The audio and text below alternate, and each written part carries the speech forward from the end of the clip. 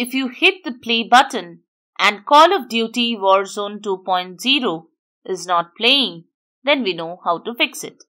Watch this video till the end to learn how to solve the problem.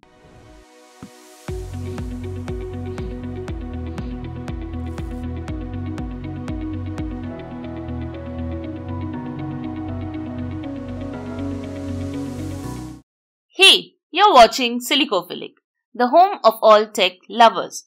When the play button is not working for Warzone 2.0, follow this video to know how to fix it. Before we get into the methods, subscribe to our channel for future tech support. Also, like this video if it helps you solve the problem.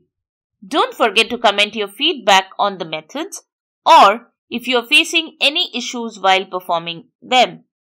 We also have a Facebook group of troubleshooting experts where you can share your tech issues and get direct help.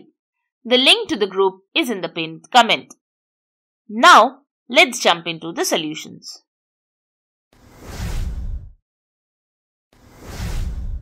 Method 1. The first thing you can do is allow Warzone 2.0 through Windows Firewall. Type Windows Firewall in the Windows search box and select Windows Defender Firewall.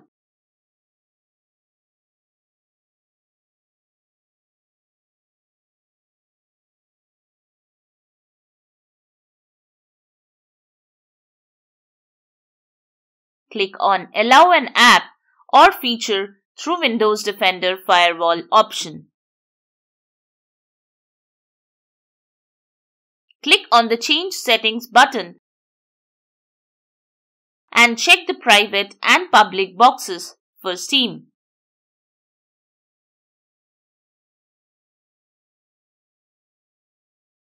This will allow all your Steam games through Windows Firewall.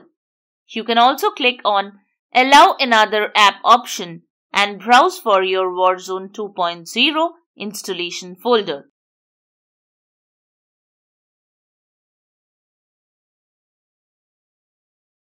Select the game exe file and click Open option.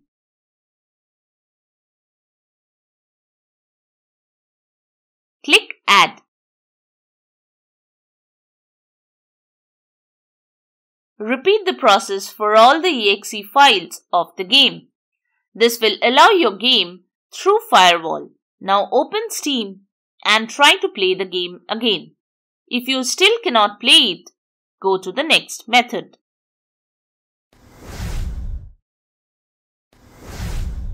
Method 2. Next, turn off the control folder access from Windows Defender. To do that, type Windows Security in the Windows search box and select the top option.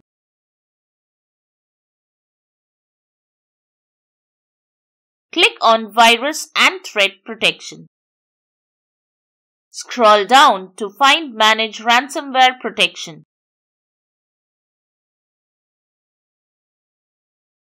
Turn off the controlled folder access. You can turn on the option after you are done playing the game.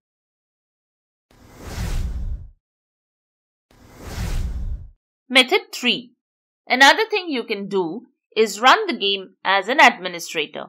If you're running the game via Steam, open Steam and click Library. Locate Call of Duty Warzone 2.0 and right click on it.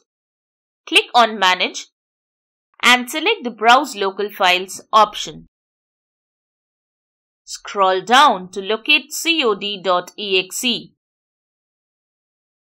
Right click on it and open Properties.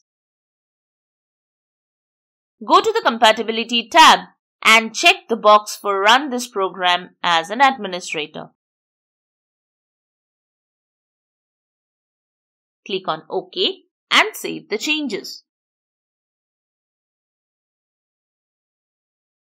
So that's it. If this video has helped you in figuring this issue, then give us a like and subscribe to our channel. If your purpose is not fulfilled with the method we have shown here, comment below to let us know and our team will try their best to help you out. Also, join our Facebook group for direct tech support. The link to the group is in the pinned comment. Thanks for watching Silicophilic.